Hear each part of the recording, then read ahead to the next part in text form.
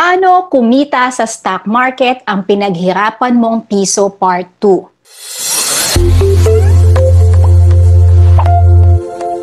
My name is Cynthia Fuller and I'm the founder of The Fuller Mind. Bago may pagpatuloy ang nais kong i-share, gusto ko mabigyan ka ng tips and guide tungkol sa saving, stock market investing, and wise spending. Please subscribe to my YouTube channel kung hindi ka pa nag-subscribe. And don't forget to click the notification bell para lang updated sa mga bagong videos ko. Paano kikita through capital appreciation? Ano ang capital appreciation? Ito ay ang pagtaas ng market price ng investment or stock na iyong nabili. Mayroon na po akong ginawang video kung saan paano kumita ang pinaghirapan mong piso part 1 through dividends. Ang video na ito ay ilalagay ko po sa upper right portion ng video na ito upang mapanood mo din kung paano kumita sa stock market through dividends. Ngayon, ang ating pag-uusapan ay paano kumita through capital appreciation kung saan tumaas ang market price ng investment or stock na iyong nabili. Gawin po nating halimbawa ang Jollibee Foods Corporation. Ito po ay isang halimbawa Noong January 2011, ang closing price ng Jollibee Foods Corporation ay 80 pesos. After 3 years, ang closing price ng Jollibee Foods Corporation ay 168 pesos. Ibig sabihin, 168 pesos minus 80 pesos, mayroong 88 pesos na difference. At itong 88 pesos na difference ang gain per share after 3 years. Kung ikaw ay mayroong 1,000 shares at ang gain per share mo ay 88 pesos, magkakaroon ka ng gross income after 3 years na 88,000 pesos. Ito ang halimbawa ng capital appreciation kung saan tumaas ang market price ng investment or ng stock na iyong nabili. Sa makatuwid, mayroon kang 88,000 pesos na gross income after 3 years. Gawin nating halimbawa after 5 years. Same pa din yung date, January 21, 2011, ang market price ng stock or ang closing price ay 80 pesos. After 5 years, January 21, 2016, ang closing price or market price ng stock ng Jollibee Foods Corporation ay 195 pesos. 195 pesos minus 80 pesos, ang difference ay 115 pesos. Ibig sabihin, ang 115 pesos ang gain per share ng Jollibee Foods Corporation. Kung ikaw ay nagkaroon ng 1,000 shares at meron kang gain na 115 pesos per share, ang gross income after 5 years sa 1,000 shares ay 115,000 pesos. At ito ulit ang halimbawa ng capital appreciation kung saan tumaas ang market price ng stock na iyong nabili. Another example, gawin natin after 10 years. January 21, 2011, ang market price or closing price ng Jollibee Foods Corporation ay 80 pesos. After 10 years, January 21, 2021, ang market price or closing price ng Jollibee Foods Corporation ay 186.9 pesos. Ibig sabihin, 186.9 minus 80 equals to 106.9. Itong 106.9 ang gain per share.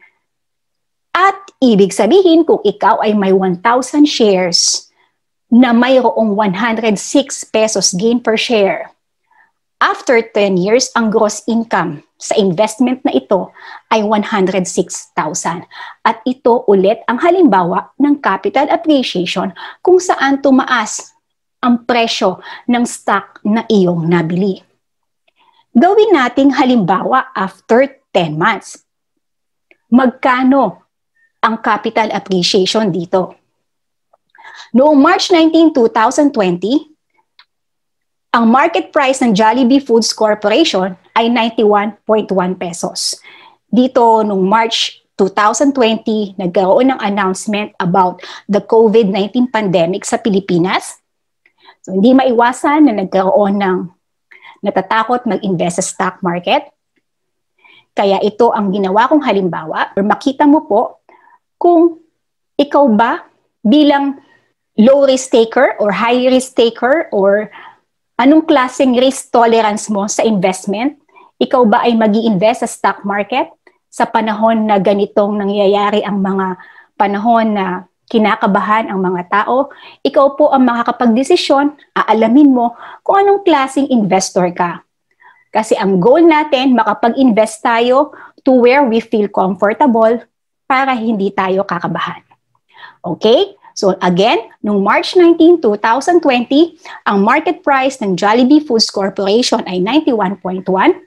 After 10 months, January 19, 2021, ang market price or closing price ng Jollibee Foods Corporation ay 190.7. Ibig sabihin, 190.7 minus 91.1, mayroong difference na 99.6. At itong 99.6 ang gain per share. Kung ikaw ay mayroong 1,000 shares at ang gain per share ay 99.6, 99,600 gross income after 10 months.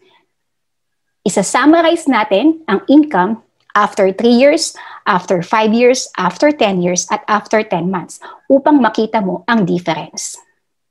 Ang halimbawa natin, lahat ito nabili na mayroong 1,000 shares of Jollibee Foods Corporation. Date bought January 21, 2011. Date sold January 21, 2014. After 3 years, mayroong gross income na 88,000 pesos. Date bought January 21, 2011. Date sold January 21, 2016. After 5 years, mayroong gross income na 115 pesos. Date bought January 21, 2011. Date sold January 21, 2021. After 10 years, mayroong gross income na 100 6,000 pesos. Date bought March 19, 2020, date so January 19, 2021, mayroong gross income na 99,600 pesos after 10 months. Ibig sabihin, kung iyong mapapansin, hindi natin exactly mapepredict o masasabi kung magkano ang kikitain ng investment mo sa stock market. Dahil kung iyong makikita, mas malaki pa ang gross income after 10 months kumpara sa gross income after 3 years. Base dito sa ating halimbawa na Jollibee Foods Corporation. Pero kung tatanungin niyo ako after 3 years, after 5 years, after 10 years, after 10 months, ganito pa rin ba exactly ang iyong gross income or gain ay hindi po dahil naiiba po ang market prices ng bawat stock at mabilis magbago ang market price ng bawat stock within the trading hours. Hindi lang yan once nagbabago in just one day, mabilis po yung magbago during the trading hours. Kaya hindi po natin exactly mapepredict kung magkano ang kikitain ng iyong pera sa stock market. Okay? Mahalaga po na aralin natin ang stock market. At gusto kong ibigay yung note na hindi lahat ng stocks ay may gain or profit after months or years of investing. That is why learn the stock market first before you begin to invest to minimize the risk of investing. Ano po ang maaari mong gawin dito sa summary or dito sa income kung sakaling nagkaroon ka ng income sa stock market? Ang maaari mong gawin doon sa iyong gross income or sa gain or sa profit mo from the capital appreciation, you can withdraw the money if you want, kung kailangan mo na. Or, one way of growing your money exponentially is to reinvest yung income mo from the stock market. Meaning, you are again going to buy more shares of stocks. Okay? Ang paalala ko po ulit, hindi lahat ng stocks ay may gain or profit after months or years of investing. Itong halimbawa natin kung saan ako nagpakita ng gain after 3 years, 5 years, 10 years, and 10 months, hindi po lahat ng stocks na iyong mabibili ay magkakaroon ka ng gain after months or years of investing. Kaya parati kong sinasabi, learn the stock market first before you begin to invest to minimize the risk of investing. Sana simulan mo na ang pag-aaral sa stock market upang makita mo kung paano kumita sa stock market. At hindi ka rin kabahan sa investment mo. Dahil kung ikaw ay mag-aaral sa stock market, maiiwasan mong kabahang mag-invest sa stock market.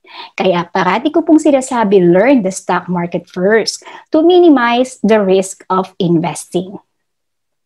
If you would like your family and friends to learn more about the Philippine stock market, give this link to your family and friends Or you may tell your family and friends to subscribe to https colon double slash thefullermind.com slash free dash ebook so they can have a copy of this free ebook. The Fuller Method, Learn to Grow Your Money Exponentially ebook.